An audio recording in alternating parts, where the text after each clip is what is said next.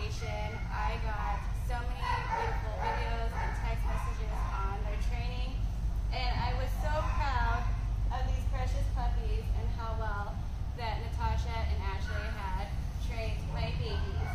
I just want to say thank you. They listened very well. They're well behaved, as you can see.